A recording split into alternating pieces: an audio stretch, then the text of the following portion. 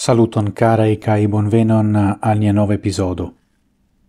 Hodio mi trovigas en mia laborciambro, cae mi pretigis hierau, fin pretigis, ec hierau, mian uh, videan uh, contribuon alla Irana Congresso, al ciu mi partoprenos post un horo. Kai do mi revenos al vi poste por la cutima medito. Restu con mi, cun meditu, con ni. Dankon.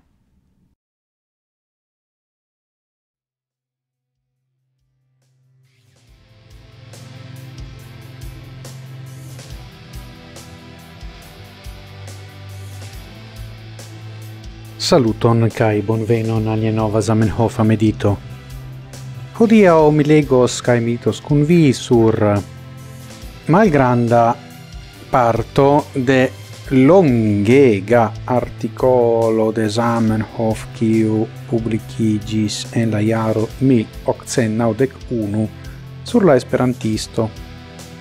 Temas pri la fama articolo pri la maniero de vastigado, hodiau ni dirintus disvastigado, cae mi legos el pagio naudec hoc.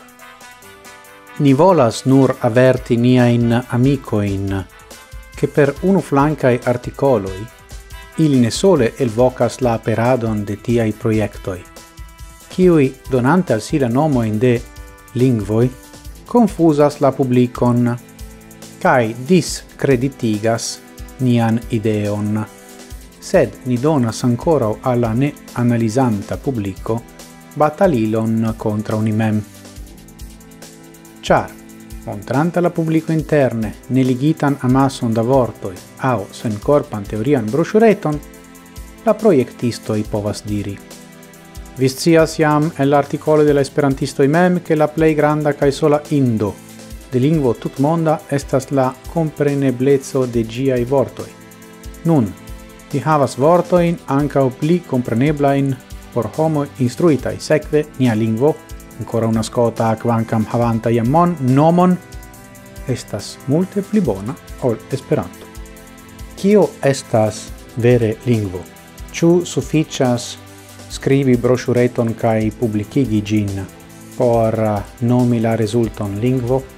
Zamenhof estis eh, tre clara pri tiu aspecto facte li parolas pri proiectistoi. Do, en la jaro 1891 estis nur du internaciai helplingvoj, Volapuko kaj Esperanto. fin finfine, lingvoin faras homgrupoj, ne unu opuloi. Unu opulo povas proponi proiecton, sed tio ne sufiĉas. Kaj historio pruvis che Zamenhof eh, tute pravis pri tio. Kaj estas interesse che en la lasta iaroi de la dudeca iarcento la tuta movado por proponi plibonigo in supposata in plibonigo in de Esperanto iris alla directo de latinigio au latinid igio de la propono imem, char homoi instruitai kiel Zamenhof diris, conis la latinan lingvon.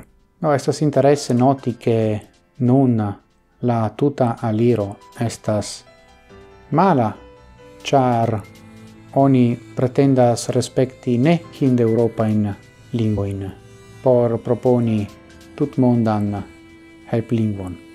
Kai la attacco e contra Esperanto estas giuste che Esperanto estas tro in Europa. No, vidu Changigas la perspectivoi dum unu iarcento, sed Esperanto ancora restas cae vivas cun ni cae danke al ni. Dankon pro via atento, gis morgau cae ciel ciam, antauen sen fine.